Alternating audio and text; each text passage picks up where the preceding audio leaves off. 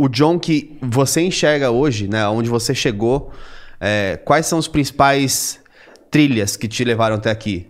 É, eu sempre falo, algumas coisas acontecem por, por acaso, algumas coisas acontecem pelo destino, destino vamos chamar assim. Mas quando você olha para trás, é mais fácil você identificar, pô, entrar nessa empresa foi muito importante porque eu aprendi isso. Depois mudar nesse momento foi importante porque eu aprendi isso.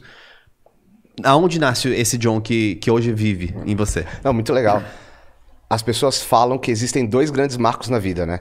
Aquele marco do, do trauma que você passou uma pobreza extrema, morou debaixo da ponte, aí te, teve aquele combustível para não parar e fazer até dar certo, que não foi meu caso, e aquele que o processo do step by step, eu aprendi uma coisa nova, essa coisa nova me levou a uma outra oportunidade, que aí me conectou a um novo mercado, eu fui desenvolvendo. Essa foi a minha história, né? Então, nasci em São Paulo, paulistano da Gema, mas com 10 anos fui morar na Bahia.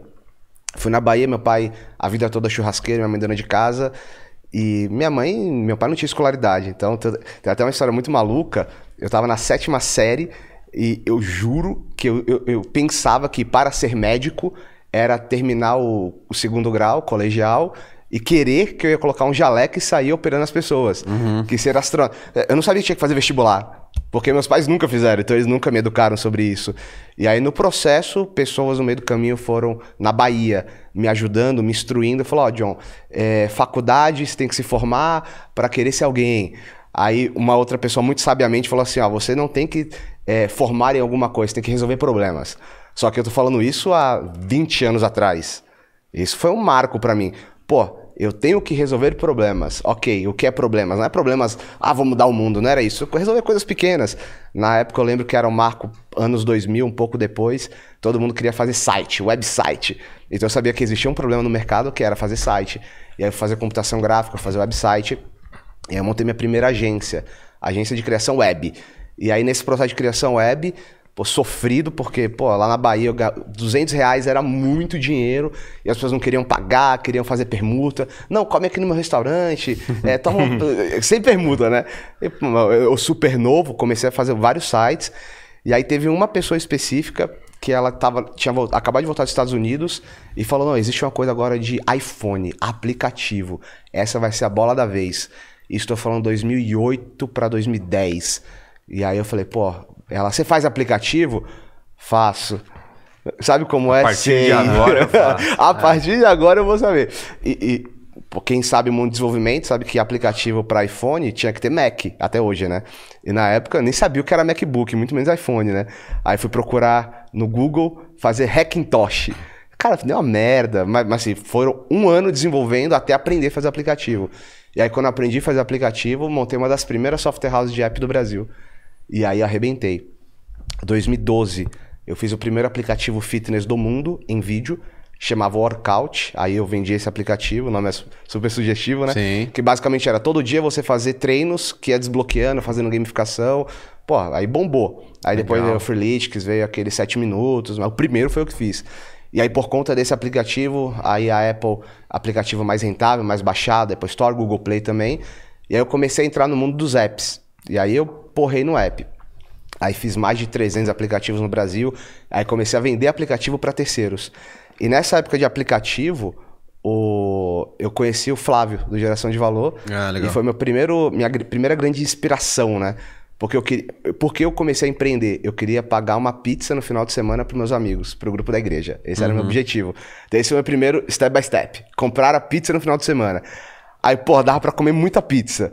Mas e agora? Pô, muita pizza é, ganhei 500 reais. O uhum. que, que, eu faço agora com 500 reais? Aí eu conheci o Flávio. Aí ele, não, porque não importa se você veio do Jabu, você consegue ser milionário. Eu falei, milionário, palavra nova. Eu quero ser milionário. Então, como é que eu vou virar milionário? Aí eu fui pesquisando. Como é que eu envolvo? Aí fui aprendendo as skills, né? De, pô, pensar em produtos escaláveis, de ter margem, recorrência. Aí falei, pô, vou fazer apps que tenha essa, essa, essa dinâmica. E aí comecei a vender aplicativo. Então, na época, alguns clientes que me ajudaram muito né, nessa trajetória. O Paulo Vieira, fiz o primeiro aplicativo do Método CIS. na época ele colocava mil pessoas, hoje ele coloca 15, 18 mil pessoas em, um, em uma sala para aprender um conteúdo é, de desenvolvimento pessoal. É, o mercado digital começando. tem um- uma pessoa chamada Érico Rocha no Brasil que ensina a fórmula de lançamento. Sim. E aí tinha o grupo do Érico, eu fazia aplicativo para todo mundo do grupo dele. Então, assim, foi onde eu fiz meu primeiro milhão.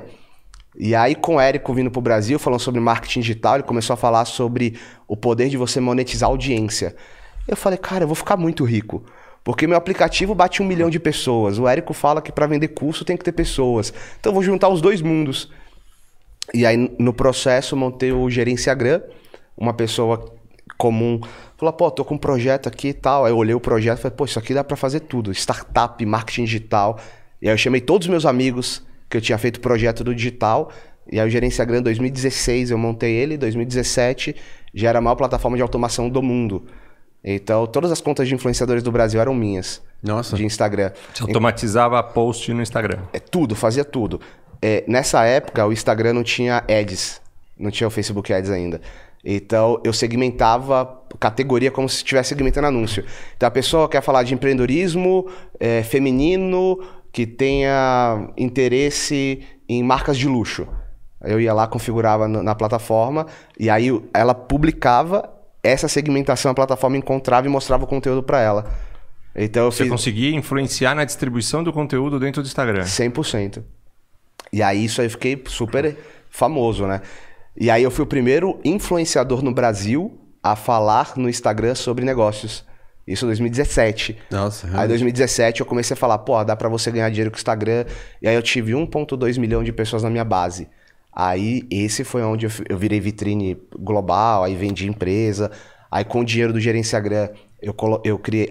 Aí ficou ilegal. Porque aí, do- meado de 2018 o Instagram tava funcionando ads, 19 ia acabar a automação. Em, sete- em setembro de 2019 eu saí, vendi minha parte. E aí com o dinheiro eu coloquei num fundo...